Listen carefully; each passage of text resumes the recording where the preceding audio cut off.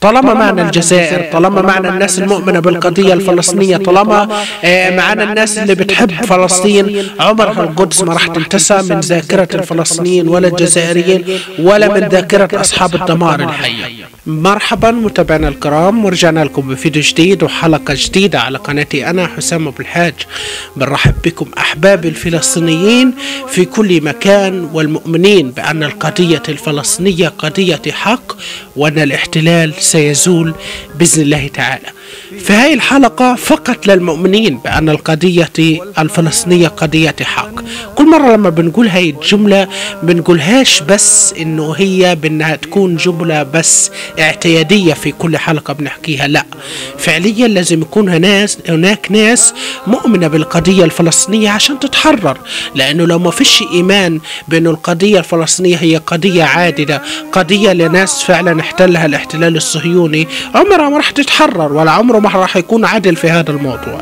لما بنقول هاي الجملة فعليا معترفين بأن أول ناس معترفة بالقضية الفلسطينية هم أحبابنا وأهلنا في الجزائر. ناس كتير بتستغرب ليش الجزائر في كل مرة بكون إلها مباراة أو بكون إلها لقاء أو بكون إلها لقاء خاص أو عام أو مناسبة أو بصر شو بترفع العالم الفلسطيني. ليش الناس مستغربة الأعداء مستغربين وأولهم الصهاينة ومش عاجبهم هذا الحدث.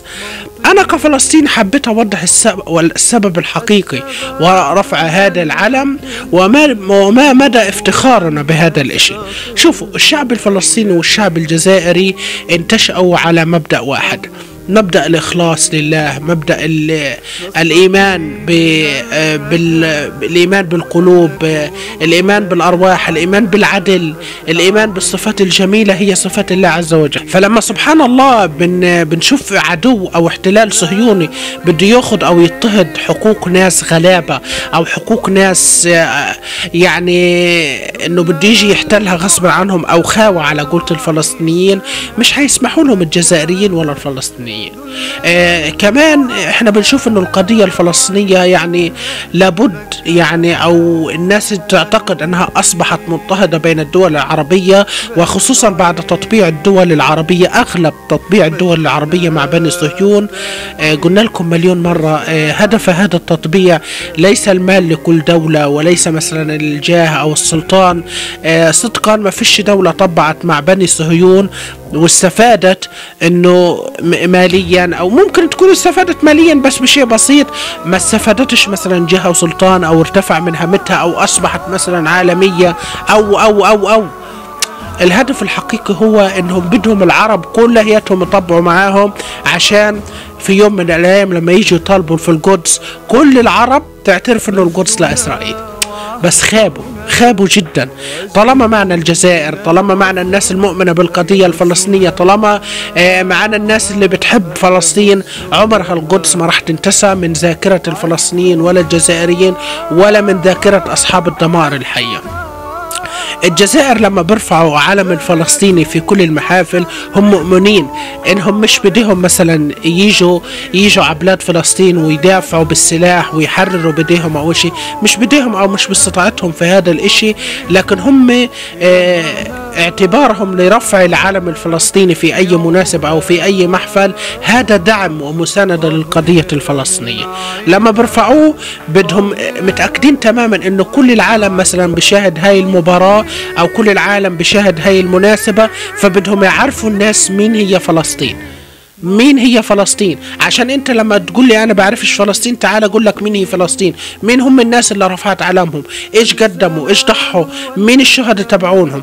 فهم بدهم يحاولوا قدر الامكان الجزائريين أن يصلوا القضية أن يصلوا بالقضية الفلسطينية وأن يرفعوا صوت القضية الفلسطينية إلى العالم أجمع إلى جميع العالم. ليبقى الحق عادل وليبقى الحق دائم بإذن الله تعالى. فهذا هو هدف الجزائريين. كمان الفلسطينيين لما بشوفوا علمهم مرفوع صدقوني بنفرح فرح عظيم. فرح عن جد. بسعش قلوبنا. قلوبنا تبقى صغيرة على هذا الفرح الاستقبالي. لكن بنفرح وبكون جواتنا فرح وسرور. لا يسع أي حد ولا يسع قلب أي حدا صدقوني آه، الفلسطينيين آه، مؤمنين تماما بأنه الجزائر أحباب الفلسطينيين. وإحنا بنتذكر كمان ولا بد إن إحنا نتذكر هوارب مديم دائما في كل حلقة. قال نحن مع فلسطين ظالمة أو مظلومة. فبكل تأكيد الشعب الجزائري علم وسطر وحفظ هذه الكلمة داخل قلوبهم. وكمان ياسر عرفات الله يرحمه قال إن ضاقت بنا الأرض فلا نذهب إلا لدولة الجزائر. سبحان الله كان اختياره اختياره عظيم. يعني وكأن هؤلاء الشخصين آه، تركوا بصمات عظيمة لشعوبهم رغم المؤامرات والسياسات وكل هذه الدنيا. كمان آه، صدقا آه، الأعداء اللي بتنغاز من رفع العالم الفلسطيني صدقوني. آه، أنتوا بتنغازوا لأنكم عارفين إنه هاي الدولة أو هاي المحفل أو الجزائر أو بشكل عام إنهم على حق.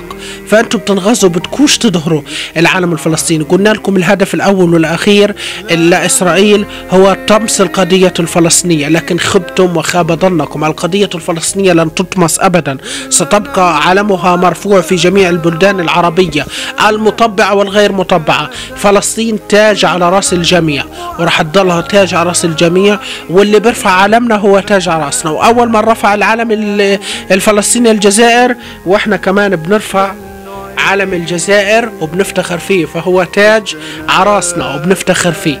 ففي هاي الحلقة حبيت أوجه شكري والعرفان الشكر والعرفان لدولة الجزائر العظيمة آه الذي نفتخر بكم ونعتز بكم. آه يا من ترفعون علمنا في جميع المحافل أنتم تيجان على رؤوسنا أنتم في قلوبنا دوما في جميع المجالات. آه كمان حبينا في هاي الحلقة نوضح السبب الحقيقي بدهم هم الجزائر بيرفعوا العالم الفلسطيني لإظهار القضية الفلسطينية في جميع الدول. ولكن الاحتلال والأعداء لا يريدون هذا لأنهم يريدون تبس القضية الفلسطينية ولكن خبتم وخاب ظنكم أيها الأعداء وأيها الصهاينة. كل التحية لأهلنا في الجزائر. على كل حال إحنا عملنا أغنية لأهلنا في الجزائر أغنية كليب غنائي. هاي اللي الرابط موجود في الوصف. يا ريت الكل يروح يشاهد ويعلق عليه. ليصل لأكبر عدد ممكن من جمهور الجزائر أحبابنا في الجزائر. هيك كانت حلقتنا لهذا اليوم. ما زلنا بنوزع شكرنا وعرفانا لكل أهلنا في الجزائر كبيركم وصغيركم آه، شيخكم وأطفالكم آه، بناتكم ونساءكم أنتم تجان على رؤوسنا نفتخر ونعتز بكم. هيك كانت نهاية حلقتنا لهذا اليوم. نأمن من الله عز وجل أن يديم بيننا المحبة والود والاحترام. كل التحية لكم مشاهدينا الكرام. بهيك وصلنا لنهاية حلقتنا لهذا اليوم. لا تنسوا الاشتراك بالقناة وتفعيل زر الجرس ليصلكم كل جديد. إلى لقاء جديد. والسلام عليكم ورحمة الله وبركاته. يسلم ترابك يا الأرض الخضراء. يسلم هالشعب الحر